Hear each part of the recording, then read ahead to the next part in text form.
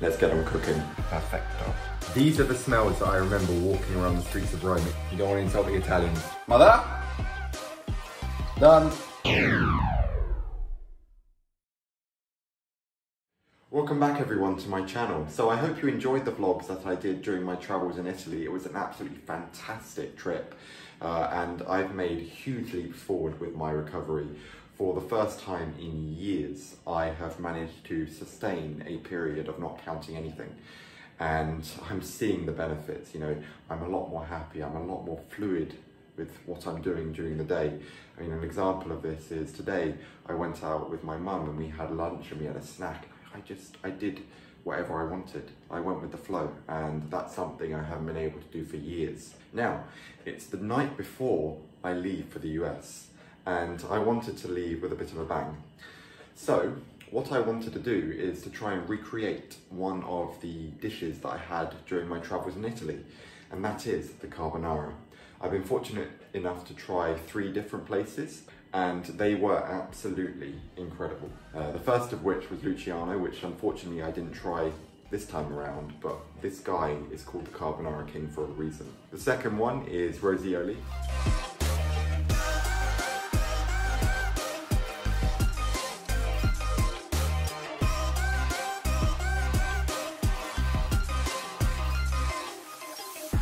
Very good, but not as good as Luciano. It wasn't as rich, and the guanciale wasn't as perfectly cooked. And then the final one, Osteria di Fortunato.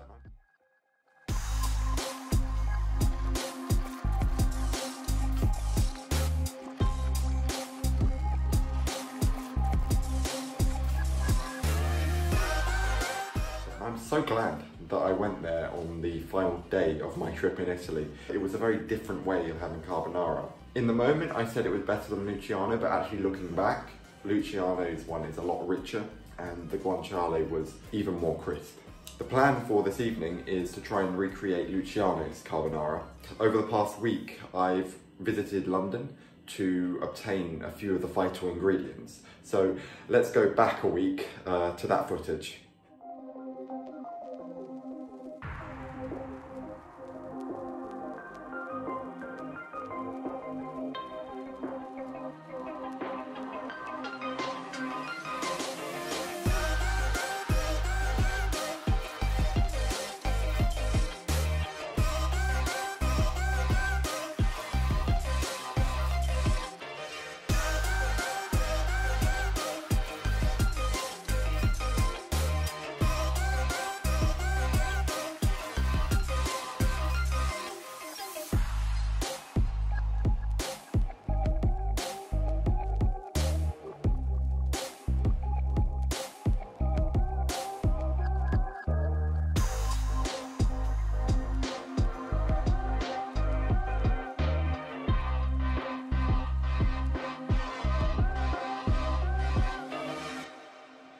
Hope I'm not offending any Italians with the ingredients that I bought, but I tried to keep it as authentic as possible. It was actually a very expensive trip. I think it cost you know over 20 pounds for everything. So that for two plates of carbonara that I'm going to cook with mum and I is a lot of money.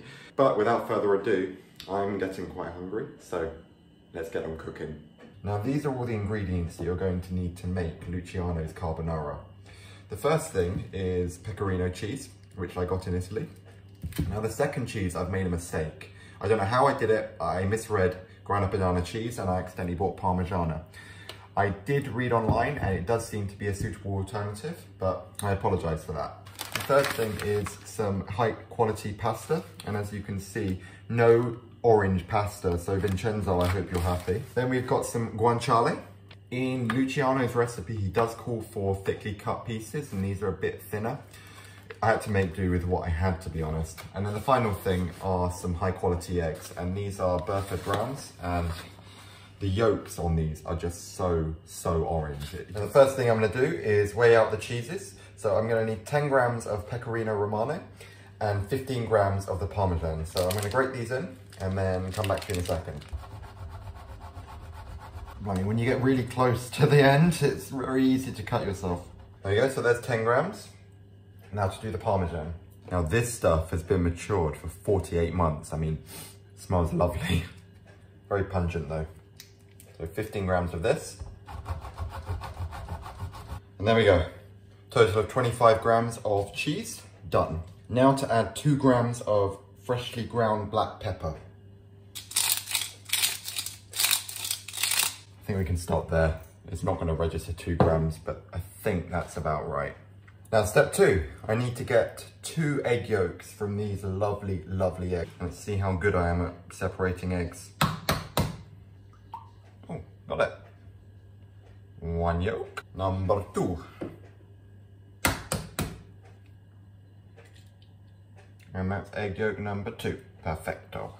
Now the final bit of preparation is to whisk this together until it's basically a finely blended paste.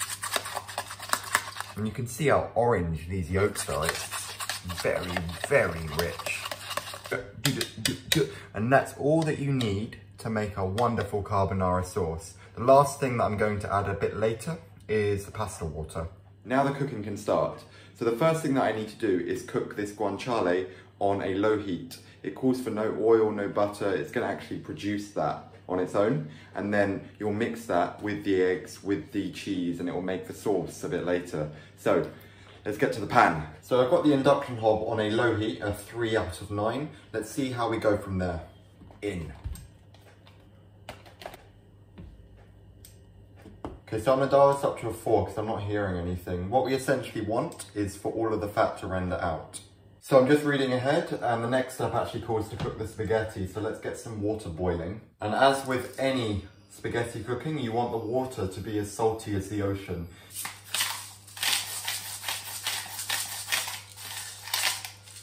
As we do it for now. Dial this up to a five because I'm seeing very minimal cooking right now. Oh, it's starting to smell very lovely indeed. There we have it. This stuff is finely cooking and you can see that it's rendering a lot. Ooh. I'm doing, I'm doing a happy dance. These are the smells that I remember walking around the streets of Rome. It's just, we're gonna keep on cooking this down until I remember how crispy it was in Rome. It was, it was like a shell around the outside and then you've got this really soft and unctuous interior. So I wanna get to that point. I'm already about 10 minutes in, but once this is done and the pasta's cooked, everything comes together really, really quickly. So I've got 140 grams of this spaghetti and I mean, just look at the quality. You can see this coarseness and this is what will cling on to all the sauce. And no breaking the spaghetti in half. You don't want to insult the Italians. So what you're going to want to do is then try and get this pasta into the water as soon as possible so it all cooks very evenly. Maybe another six minutes to get to that al dente stage because it will finish the cooking in the sauce. So this guanciale is at a stage now where I'm happy with. I'm gonna put it into a bowl and then wait for this fat to cool down a bit before I add it to the egg mix. Perfect. So the guanciale is all cooked and if you can hear it, very crispy. And then you've also got this rendered fat from the guanciale. Now, before I entered recovery, this stuff, it was a big no-no for me. I, I mean, I'd be too scared to go near this stuff. Fat is flavour, this stuff is liquid gold. Luciano uses it, I'm going to use it. And I want this dish to be a great send-off before I go to the US. This pasta is cooked, so let's get it drained and then reserve one cup of the pasta water. That's very important. The starch that's leached off of the pasta will be used to thicken the sauce. There we go, and we can drain the rest off. So we're getting to the very end now. And what I've done is I've added the egg mixture into this pan.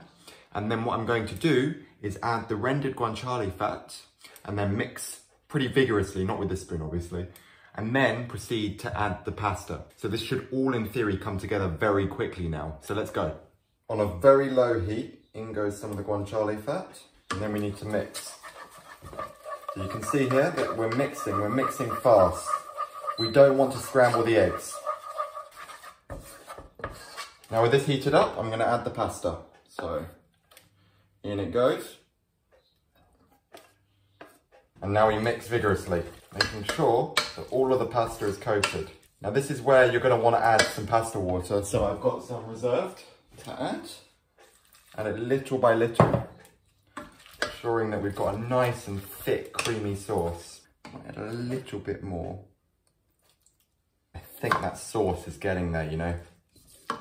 The sauce is thickened up quite nicely. I think we're there. Uh, so the final step now is to add the guanciale with the heat off. In it goes. There we go. And time for the final vigorous whisk. We're there, we're there. Mother? Done. Time to dish up the fruits of our labour, so get a nice ladle full. I know some people use those fancy forks, but I can't be bothered. The final scrapings go in here. So, about an hour later, and we've got two lovely bowls of carbonara.